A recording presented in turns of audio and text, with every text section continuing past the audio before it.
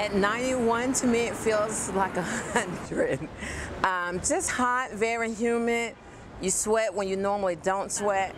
But the good thing is I do sell water, drinks, and Italian ice, which is something that gives you the cool off while you're walking from your office, walking to your appointments during the day.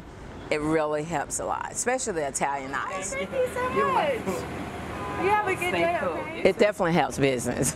But this hot is, this heat is just, it's no fun.